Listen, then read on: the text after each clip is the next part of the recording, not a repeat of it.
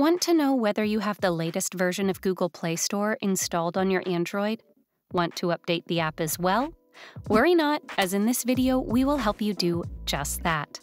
It is extremely important to have the latest version of Play Store installed on Android because that is the gateway to all the other apps that you install on your Android device.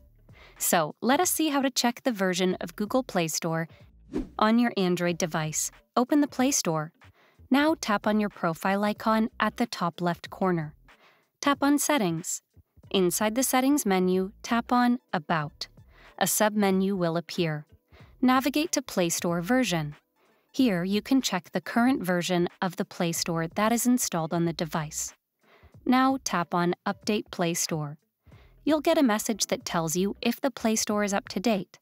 Tap Got it. If an update is available, it will automatically download and install in a few minutes. There you have it. Now you know how to check if Google Play Store has the latest and up to date version on your Android device. For more tech tips and tricks, subscribe to Guiding Tech and take a look at these videos curated just for you.